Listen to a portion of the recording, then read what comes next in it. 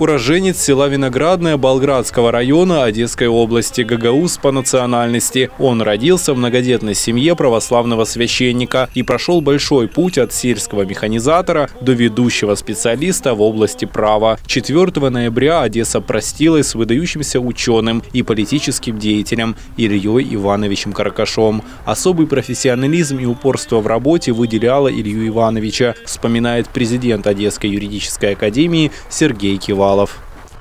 Сегодня на 75-м году жизни мы потеряли ведущего профессора, преподавателя, доктора юридических наук Каракаша Илью Ивановича.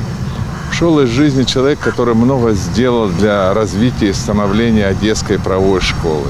Человек, который стоял у истоков создания и развития Национального университета Одесской юридической академии. Знаете, Илья Иванович Каракаш, он был первым ректором Международного гуманитарного университета. И в самое тяжелое время становления сегодня известного Международного гуманитарного университета он стоял истоков формирования коллектива Международного гуманитарного университета.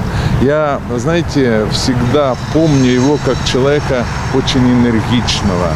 Обладал Илья Иванович природным умом, имел хорошие профессиональные качества, и он отдавал эти знания, которые у него были, нашим студентам.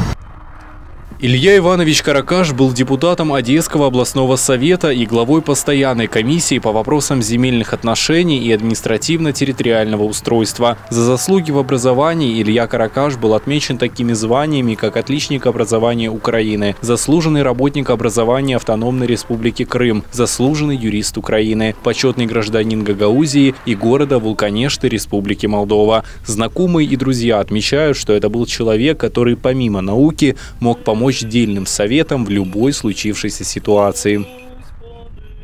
Мы с ним оба по происхождению укра... украинцы гагаузского происхождения э, и в национальном обществе вместе участвовали.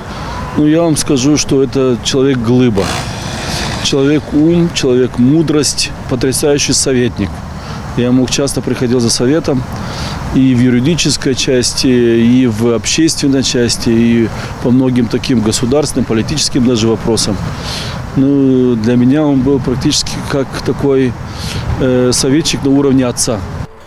Илья Каракаш – соавтор четырех монографий, автор шести сборников законодательных актов, десяти учебных пособий, пяти учебников и свыше 160 научных статей. Многие из предложенных Ильей Ивановичем законопроектов были внедрены в законодательную практику. Был советником и разработчиком всех политико-правовых документов относительно создания гагаузской автономии в Республике Молдова и депутатом первого состава национальных сборов Гагаузской Республики уход этого человека из жизни – тяжелая утрата не только для близких, друзей и соратников, а всего гагаузского народа.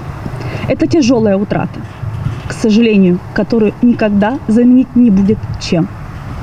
Однако великое дело, дело строительства современной гагаузской государственности, которому Илья Иванович отдал часть своей жизни, должно быть продолжено. Мне он с первых дней, когда организовывалось общество, говорил, что мы должны, те, кто сумел выучиться, приехать в этом городе, закрепиться, чтобы другие общины знали, что есть гагаузский народ, и показывали все лучшее, что у нас есть. Это он делал сам и учил этому нас. Я безмерно благодарен этому человеку.